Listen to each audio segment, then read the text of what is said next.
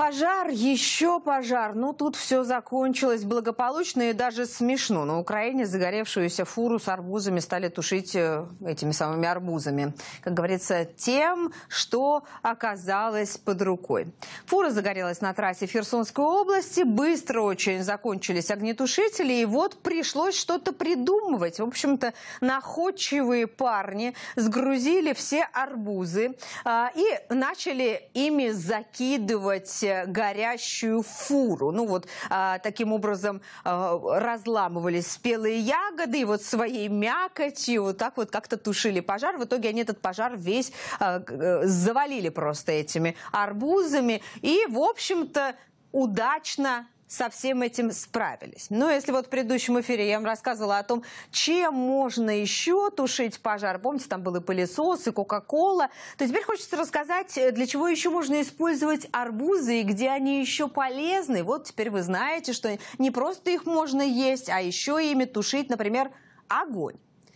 Можно делать из них вот такие произведения искусства ну, они получаются действительно на ура, только недолговечны буквально на сутки. Вот так вот карвинг называется это искусство. Можно ножичком вырезать и цветы, и рыбок, в общем, целые города. Получаются архитектурные такие сооружения, Сиднейский оперный театр, индийская усыпальница Тадж-Махал. Все это тяжело, конечно, э, медленно, но зато эффектно. В России даже соревнования и выставки проводятся по художественной арбузной резьбе.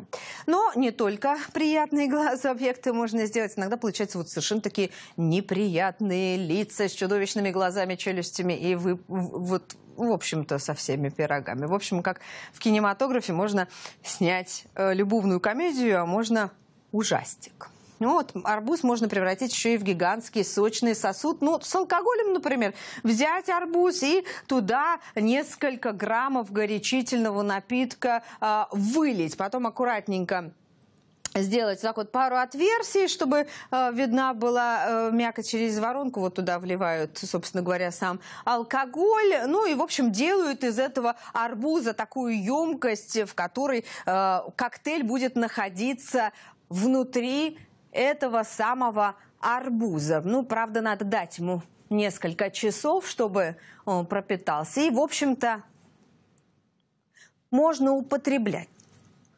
Ну, я напомню, в Японии арбузы специально помещают формочки, чтобы они вырастали какой-нибудь такой интересной формы. Ну, например, квадратными или треугольными. Они стоят дорого, поэтому их в Россию вообще не привозят, потому что невозможно их здесь продать. И благодаря вот такой устойчивой форме арбуз превращают иногда в кастрюлю, куда тоже добавляют сок, другие ягоды. И вот э, едят такой фруктовый суп. Вот, смотрите, можно купить такое вот арбузное сердце. Ну и удобно, не скатывается никуда. Ну а вот японские блогеры подшутили, вырезали всю мякоть и превратили эту большую ягоду в домик с сюрпризом. Перед человеком в маске ставят арбуз, он не знает, что будет внутри. Он, конечно, очень пугается.